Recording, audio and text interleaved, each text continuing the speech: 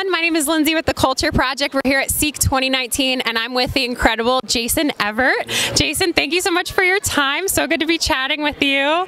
Wanted to ask you a few questions. Um, as missionaries spreading the virtue of chastity, we just wanted to ask you there's so many young people, young Catholics living out their faith.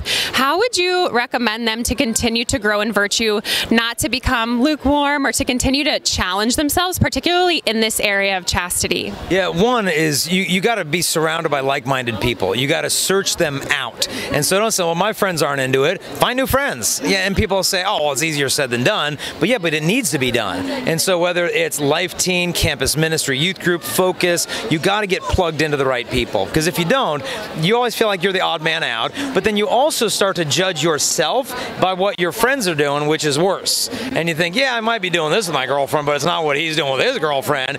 But that's not the standard. You know, the world never been the standard. You know, when you have got godly friends, then you realize like, wow, I, I really need to grow in this area, and I, and I need to work on this and work on that. You know, a buddy of mine says friends are like elevators; they either take you up or they take you down. And so the question is, what kind of elevator are you on? And so you got to find good friends because you always become like your friends. Awesome. I agree with you. I feel like I started to grow in the virtue of chastity when I was surrounded by community. Community challenged me, showed me things that I didn't even see in myself. Uh, I feel like it's just an excellent thing to have those friends around you.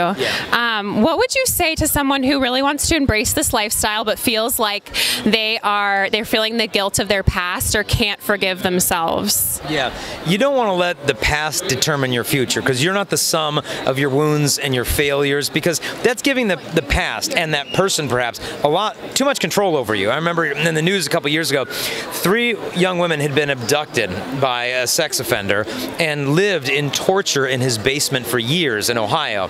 And they finally escaped, and the man was sent to prison and I saw one of the women in a press release after she escaped, and she said, "You know what? I will not be defined by my situation. I will define my situation." And this woman who'd suffered years of torture in this pervert's basement, it says, "You know, my past will not determine my future. The man has exerted enough power over me, but he will not have the power over the rest of the years of my life." And so only she had the power to end his hatred. And so if you've made mistakes, don't be the one to hate yourself and think that you're worthless or you're worth any less because of what you've done or what's happened to you, but to get up and not live out of those wounds. Because people think, oh, everybody calls me a slut. I guess I just am. I might as well be one. It's like, no, don't give them power over you. You know, God's got a plan for your life. And if He's calling you to marriage, start being faithful to your spouse before you even meet that person. Because it doesn't matter where you've been or what's happened to you. All that matters is where you want to go from here. Amen. Amen. It's always a new day, and chastity is always about the present moment, never about the past. Yep. Thank you. Uh, last question for you. I'm sure you encounter so many people, maybe uh, young adults, who really are inspired by your ministry and want to do what you do. What would be your advice to them? Duh, join the Culture Project, okay? I mean, that's a kind of a no brainer. No, I mean, uh, my ministry is one thing. You know, we're, we're writing books and, you know, publishing out and speaking. Culture Project is a ministry that I've always known is needed to exist, but God wasn't calling me to do it. And I knew it had to happen. I just wondered who's going to do this thing? Who's going to form these missionaries and send them out? Because, like, I'm one person. There's, what, like 19 million high school students in America at any given time, and a whole new batch circulates every four years. Who's going to go out? Uh, you know, and God is calling people to become missionaries. And you don't have to be some seasoned veteran of given 20 years of chastity talks.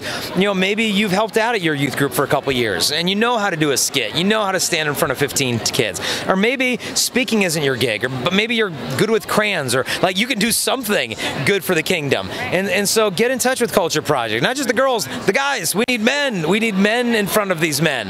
And so discern, God, is this what you're asking me to call? To give a year of my life or two or whatever to serve you?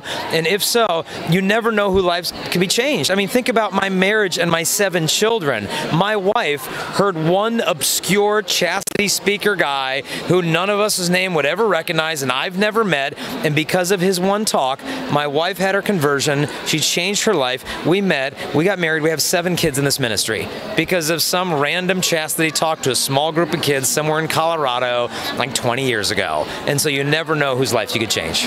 Excellent. Jason, thank you so much. Thank you for your ministry. Thank you for your yes. Thank you for inspiring so many of us. And it's a pleasure to do ministry, chastity ministry alongside you. up the good work. Thank you, thank you. Good to meet you. God bless.